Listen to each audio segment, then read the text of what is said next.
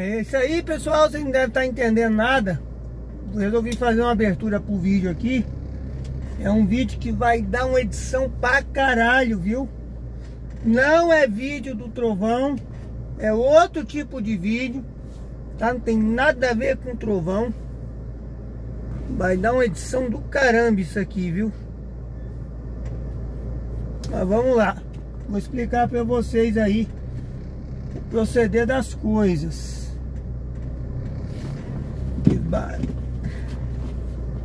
Vamos lá. Tirar uns tocos aqui da frente de casa, tá tudo podre. Cupim, velho. Eu tô com medo da cupim meus móveis antigos. Bom, é o seguinte.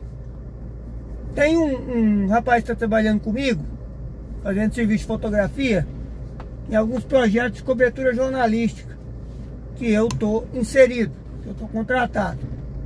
Né? E o cara passando um momento complicado na vida dele esse ano. Né? É, ficou sem carro, que teve um pequeno incidente com o carro dele. Aí ele fazia, ele também na, na, nas horas que ele não estava exercendo atividade de fotógrafo, que nem sempre tem, né? Não é, não é 24, não é todo dia que tem serviço.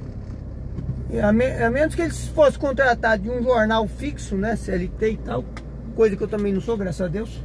Eu presto serviço para os outros, que é muito melhor, né? É, então, a menos que ele tenha que fosse uma situação dessa, vida de fotógrafo é, é ou que ele seja contratado por alguma empresa, né, que independente de estar tá trabalhando ou não, ele receba, vida de fotógrafo não é fácil não. Né? Então, galera, é, dia desse a gente tava num, num, num almoço de confraternização que teve lá com a galera da, da equipe, né?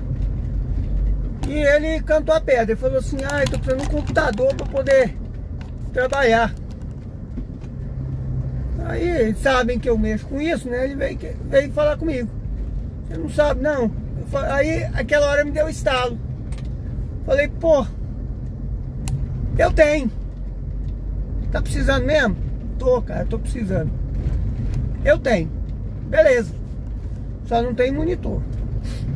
Mas isso aí, os marketplaces da vida e faz o bem que o bem volta né? Eu acompanho um canal aí que, que ele usa esse jargão e eu tô usando o mesmo jargão porque é um fato, faz o bem que o bem volta.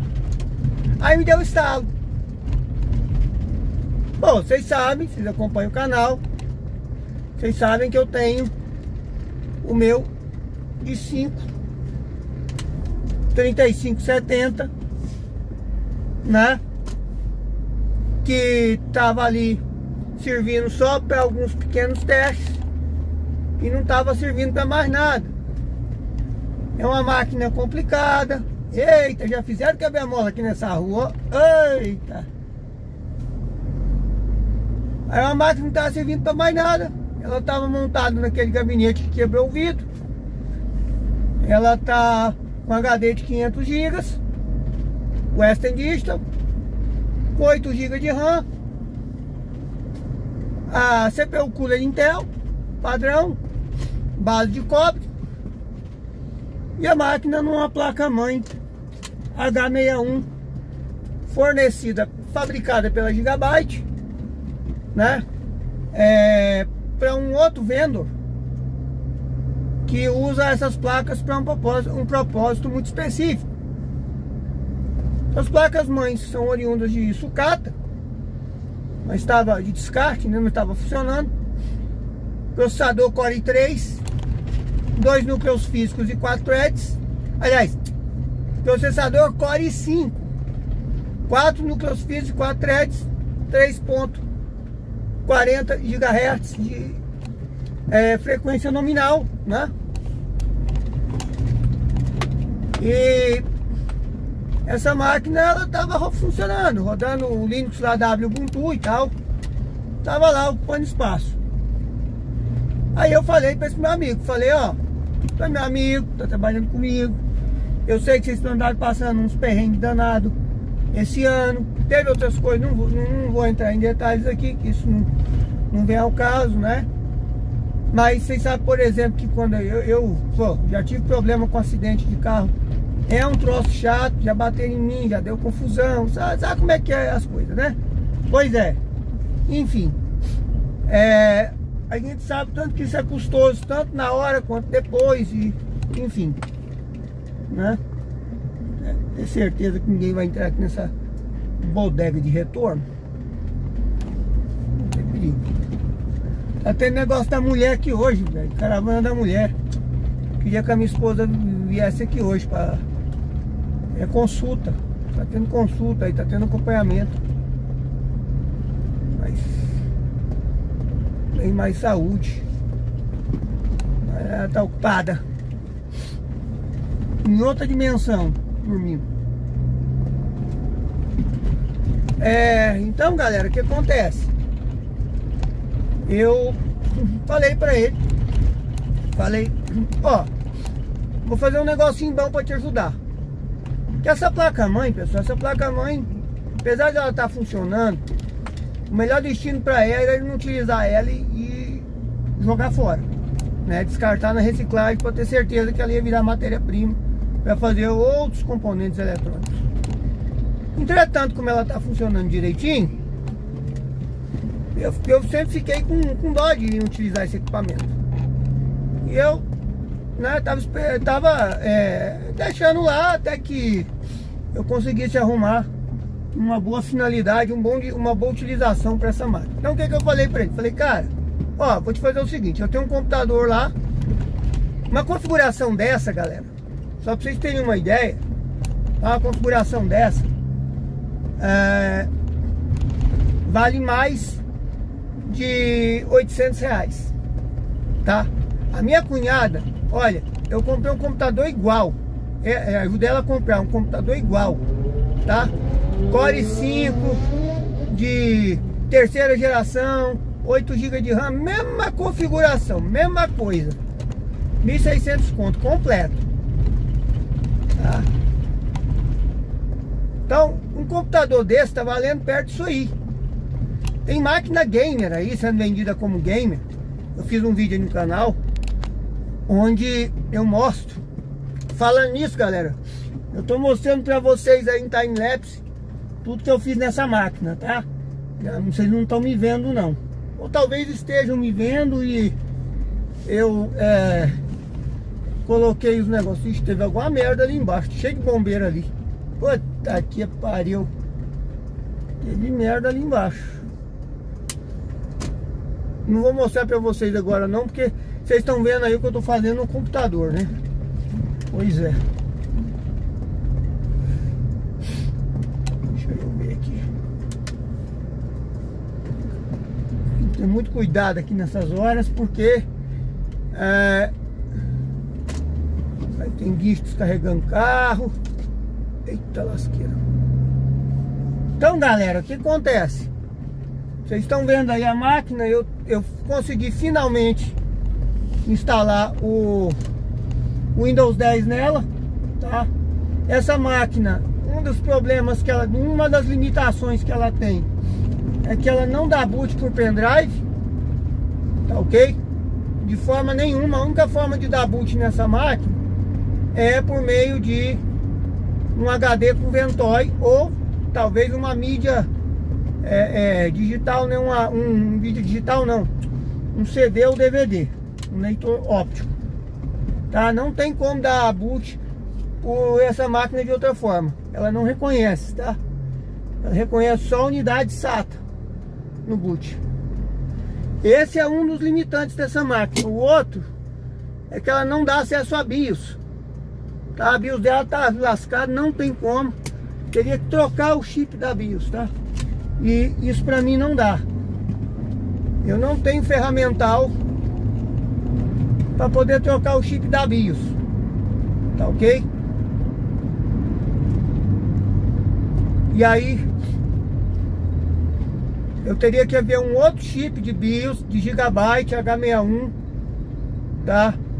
Essas BIOS são tinha de soldar da placa o chip da BIOS lá da, da, da placa atual, fazer todo um trabalho trocar tudo.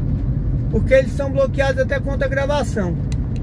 Tem placa-mãe que é assim, tá galera? Muito usada em terminais de autoatendimento. Tá? Terminais de autoatendimento. É, Bematec, é, Durma, essas, essas é, fabricantes e vendedoras de equipamentos para automação comercial, tá? Elas costumam comercializar esse tipo de equipamento, tá? Tinha a Unisys também, que eu não sei se, eu acho que hoje não existe mais, que ela costuma é,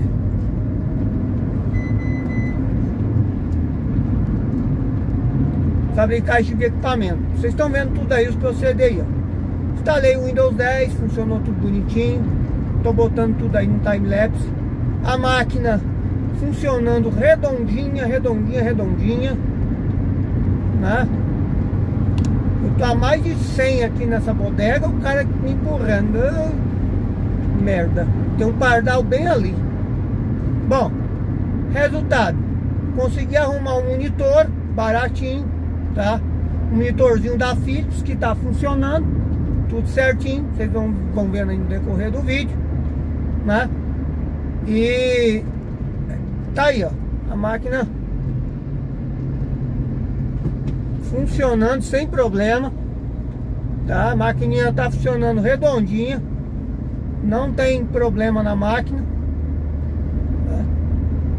E falei pro meu amigo, falei, ó, é o seguinte, uma máquina dessa custa muito mais do que eu vou fazer pra você. Mas, como você está precisando, então meu amigo, eu quero te ajudar. Eu, eu gosto de vocês, eu quero ajudar vocês. Porque eu sei que isso aqui vai ser útil para vocês. Né? Eu fiz tudo para ele por 400. Tudo, tudo, galera, tudo, tudo, tudo, tudo, tudo. Falei, você pode me pagar quando você puder. Tô levando a máquina, vou levar a máquina para vocês aí. Você pode me pagar quando você puder. Galera, não tá caro não. Só o kit presta atenção. Não desconsidera a, as limitações dessa placa-mãe Gigabyte que eu tô levando, que eu tenho. É, pensa no seguinte, só um kit H61 com Core i5 3570 de terceira, com 8 GB de RAM, sem HD, sem gabinete, sem fonte, sem nada, nada, zero, tá? Só placa-mãe, processador e memória, 600 pau. Aí tem que comprar gabinete, você gasta ali mais uns é, 100, 180 num bom gabinete, né? Com uma placa. Essas placas costumam ser placas que não são muito grandes. Então você é, pode comprar um gabinete mais desses com preço mais acessível, né? Sem problema. Então dá pra dar tranquilo, galera, tranquilo para pôr. Então Aí tem fonte.